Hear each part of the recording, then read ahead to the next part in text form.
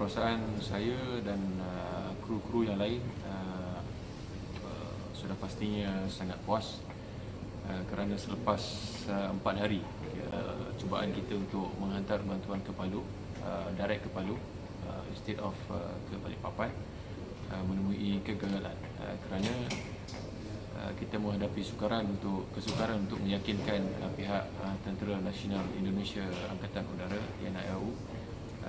capability pesawat A400M seperti mana yang semua sedia maklum pesawat A400M adalah uh, pesawat yang masih baru dan uh, technical. In terms of technicality pesawat uh, belum diketahui oleh umum. Jadi uh, itu adalah antara cabaran yang kita hadapi di sini untuk uh, memahamkan uh, pihak uh, autoriti di Indonesia uh, mengenai kemampuan pesawat A400M yang mana pesawat ini sebenarnya mempunyai kemampuan yang uh, uh, lebih baik dan tinggi uh, bagi melakukan uh, misi-misi seperti yang uh, kita lakukan sekarang. Akhirnya kita berjaya mendapatkan uh, kebenaran daripada pihak uh, autoriti Indonesia uh, setelah kita memberikan penjelasan yang lebih detail uh, mengenai uh, spesifikasi dan juga kemampuan teknikal pesawat. Uh, dan juga kita telah membuat sedikit perbandingan uh, mengenai data-data pesawat yang kita ada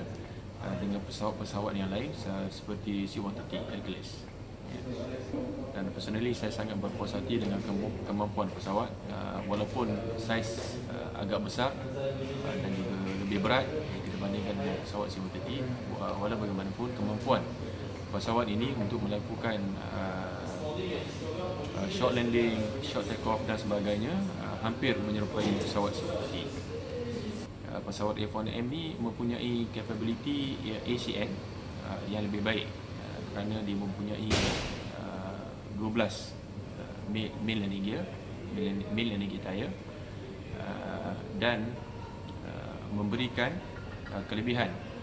apabila pesawat ini ingin beroperasi di tempat-tempat yang mempunyai PCN yang yang lebih rendah